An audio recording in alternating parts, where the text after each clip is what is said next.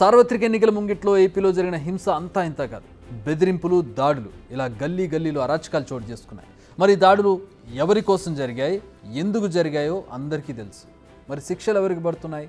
కేసులో భారం మోస్తోంది ఎవరు? ఇంకెవరు? కార్యకర్తలు.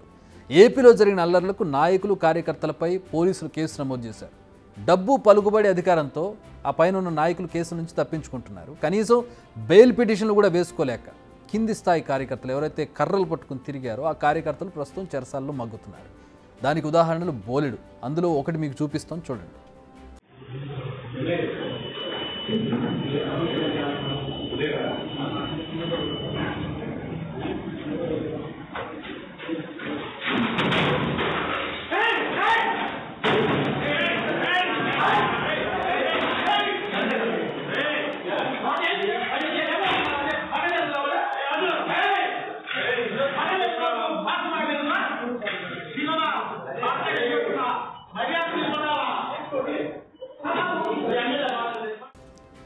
పిన్నెల్లి ఈవీఎంలను ధ్వంసం చేస్తున్న వీడియో.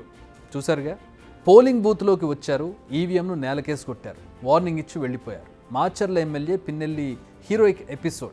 ఇప్పుడు రచ్చ రచ్చ అవుతోంది ఇదంతా జరిగింది పోలింగ్ రోజు కానీ బయటపడింది పది రోజుల తర్వాత. అంటే అన్ని రోజులు బయటకు రాకపోవడానికి నిర్లక్ష్యం ఎవరిది అనేది ఈపాటికే మీకు అర్థమైపోవాలి. ఎందుకంటే జరిగింది ఈసీ ఆధీనంలో ఉన్న బూత్లో. కానీ ఈ వ్యవహారం బయటపడడానికి చాలా రోజులు పట్టింది పోనీ ఫుటేజ్ వచ్చాక సీఈఓ ముఖేష్ కుమార్ మీనా ఏమన్నారో కూడా మీరే చూడండి Uh, Election Commission has said that such type of incidents are very shameful incident. Shameful incident in the sense that uh, um, uh, we our intention is to do free, fair, and peaceful elections. And when the candidate himself start doing and doing this activity, that is a very serious matter. So uh, stringent action should be taken. Stringent action ante uh, as per the memo filed uh, in the court against the accused number one. 10 sections have been put against him, proposed against him, and these 10, 10 sections have very severe sections where the punishment may go up to 7 years also. విన్నారుగా పిన్నెల్లిపై పది సెక్షన్ల కింద కేసులు పెట్టారంట సుమారు ఏడేళ్ళ వరకు శిక్షలు పడే అవకాశం ఉందని ఆయన నోటితోనే చెప్పారు మరి బయటపడి ఇన్ని రోజులు అవుతున్నా పిన్నెల్లికి శిక్ష ఏది అంటే ఇప్పుడు సమాధానం ఏది? లేదు. ఎందుకంటే ఈసీ పోలీస్ వ్యవస్థ కన్నా ముందుగా దూసుకెళ్ళి ఏకంగా హైకోర్టులో ఆయన బెయిల్ పిటిషన్ పెట్టుకున్నారు. ఇంకా అరెస్ట్ కాలేదు. కనీసం పోలీస్ స్టేషన్ మెట్లు కూడా ఎక్కలేదు ఆయన. డైరెక్ట్గా హైకోర్టు నుంచి బెయిల్ తెచ్చుకున్నారు. ఎందుకంటే ఆయన పలుకుబడి ఉన్న నేత కాబట్టి డబ్బు ఖర్చు పెట్టగలరు కాబట్టి. ఒకటి కాదు రెండు కాదు ఏకంగా మూడు కేసుల్లో ఒకే దెబ్బకు బెయిల్ వచ్చేసింది ఆయనకి. ఈవీఎం ధ్వంసం టీడీపీ ఏజెంట్ నంబూరి శేషగిరిరావుపై దాడి పోలింగ్ బూత్ వద్ద మహిళపై దుర్భాషలాడిన కేసు కారంపూడిలో సీఐపై దాడి చేసిన కేసులు ఇలా అన్నిటికీ బెయిల్ వచ్చేసింది. మరి సామాన్యుడికి ఇలాంటి న్యాయం ఉందా అంటే చెప్పలేం. ఓన్లీ ఫర్ విఐపీస్ అనే పరిస్థితి ఇప్పుడు ఏర్పడింది. గులకరాయికి జైలు శిక్ష ఉంటుంది కానీ వ్యవస్థలను ధ్వంసం చేసే వారికి బెయిలే ఉంటుందని మరోసారి నిరూపించినట్టయింది. రాష్ట్రంలో మే పదమూడున జరిగిన పోలింగ్ రోజు ఆ తర్వాత జరిగిన వరుస అల్లర్లలో ఎందరో సామాన్యులు బలయ్యారు.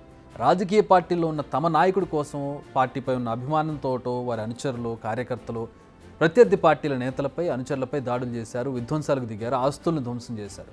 ఫలితంగా తీవ్రమైన అభియోగాలతో నమోదైన కేసుల్లో వారంతా ప్రస్తుతం జైల్లో మగ్గుతున్నారు. ఆయా ఘటనల్లో అనుచరులను కార్యకర్తలను పరోక్షంగానూ ప్రత్యక్షంగానూ ప్రభావితం చేసిన నేతలు ఇంట్లో కూర్చొని వాళ్ళని ప్రభావితం చేశారు. వెళ్ళండి కొట్లాడండి నా కోసం మీరు కొట్లాడండి లేదంటే అన్న మీకోసం మేము ఉంటాం. ఇలాంటి మాటలు ఆ గొడవలు జరిగిన రోజు చాలా సర్వసాధారణం. కానీ వీళ్ళందరూ న్యాయస్థానాలను ఆశ్రయించి కాస్ట్లీ లాయర్లతో వాదనలు వినిపించి దర్జాగా బయట తిరుగుతున్నారు ఎవరైతే ఆదేశాలు ఇచ్చారో ఎవరైతే అభిమానం కోసం ఎవరి మీద అయితే అభిమానం కోసం వీళ్ళంతా రోడ్ల మీద పడ్డారు వాళ్ళు బయట ఉన్నారు డబ్బు పలుకుబడి అధికారంతో నేతలు రిలీఫ్ పొందుతుంటే అవి ఏవీ లేక కేసులు ఇరుక్కుని సామాన్యులైన కార్యకర్తలు అనుచరులు తమ జీవితాలను బుగ్గి చేసుకుంటున్నారు. వాళ్ళ కుటుంబ సభ్యులు కూడా ఆవేదన పడుతున్నారు. అందుకు మరో ఉదాహరణే వివేక హత్య కేసు. వైఎస్ వివేకానంద రెడ్డి హత్య కేసులో కడప ఎంపీ వైఎస్ అవినాష్ రెడ్డిని నిందితుడిగా చేర్చిన వెంటనే సిబిఐ ఆయన అరెస్ట్ చేయలేదు. ఆ తర్వాత కొన్నాళ్ళకు అవినాష్ను అరెస్ట్ చేసేందుకు ప్రయత్నిస్తే వైసీపీ శ్రేణులు సిబిఐ బృందాలను అడ్డుకున్నాయి. సిబిఐకి అవసరమైన సహకారం ఇవ్వకుండా వైసీపీ ప్రభుత్వ యంత్రాంగం ప్రత్యక్షంగాను పరోక్షంగాను అవినాష్కు సహకరించి అరెస్ట్ కాకుండా కాపాడింది. ఈలోగా ఆయన తెలంగాణ హైకోర్టులో పిటిషన్ల మీద పిటిషన్లు దాఖలు చేసి ఖరీదైన న్యాయవాదులను తీసుకొచ్చి వాదనలు వినిపించి రిలీఫ్ పొందారు. ఒక్క క్షణం కూడా జైలుకి వెళ్ళలేదు కేవలం సాంకేతికంగా కాగితాలపై మాత్రమే ఆయన అరెస్ట్ అయ్యారు. ఇక సీఎంపై గులకరాయి విసిరేందుకే ఓ కుర్రాన్ని జైలు రుచి చూపించారు అధికార పార్టీ నేతలు. నిందితుడైన సతీష్ కుమార్ అలియాస్ సత్తిని విజయవాడ పోలీసులు ఏప్రిల్ పద్దెనిమిదిన అరెస్ట్ చేశారు. హత్యాయత్నం నేరపూరిత కుట్ర సెక్షన్ల కింద కేసు నమోదైంది.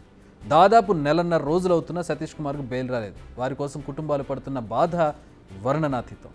గులకరాయికున్న శిక్ష హత్యలకు విధ్వంసాలకు లేకపోయింది మరి. ఏ రాజకీయ పార్టీలోనైనా సరే నాయకులు తమపై ఎన్ని కేసులు అభియోగాలున్నా దర్జాగా ఉంటున్నారు. కానీ వారి కోసం ఆవేశాలు పెంచుకుని వారిపై అభిమానంతో రోడ్డు మీదకి వెళ్ళినటువంటి వాళ్ళు ఘర్షణలు అల్లర్లలో పాల్గొన్న వాళ్ళు అనుచరులు కార్యకర్తలు వాళ్ళ జీవితాలను బలి చేసుకుంటున్నారు. కేసుల్లో చిక్కుకుని ఇబ్బందులు పడుతున్నారు వాళ్ళు. ఇప్పటికీ ఆ కేసులు చుట్టూ తిరుగుతూ కోర్టుల చుట్టూ తిరుగుతూ జైళ్ళలో మగ్గుతున్న పరిస్థితి చాలామందికి ఉంది. క్షేత్రస్థాయిలో రాజకీయ అల్లర్లు ఘర్షణల్లో తలపడే కార్యకర్తల్లో ఎక్కువ మంది సామాన్యులే. ఎప్పటికప్పుడు ఏదో ఒక పని చేసుకుంటే తప్ప పూట గడవని వారు. వీరు కేసులో చిక్కుకుంటే లక్షల రూపాయలు ఖర్చు చేసి హైకోర్టు వరకు వెళ్ళలేరు మరి. ఖరీదైన న్యాయవాదులను పెట్టుకోలేరు. దీంతో రోజుల తరబడి జైల్లో మగ్గిపోతూ సంవత్సరాల తరబడి ఆయా కేసుల విచారణ కోసం తిరుగుతూ జీవితాలను నాశనం చేసుకుంటున్నారు.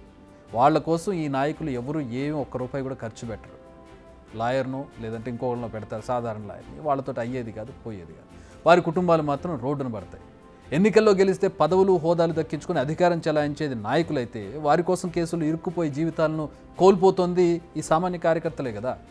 సో నాయకుల కోసం జెండా పట్టి రోడ్డు మీదకి వచ్చే ముందు కుటుంబాల గురించి మీరు ఒకసారి ఆలోచించండి మీరు రేపొద్దున ఏ గొడవల్లోనో ఘర్షణల్లోనో దొమ్మిల్లోనో కేసులు పాలై జైలు పాలైతే మీ కుటుంబ సభ్యుల పరిస్థితి ఏంటో ఒకసారి ఆలోచించండి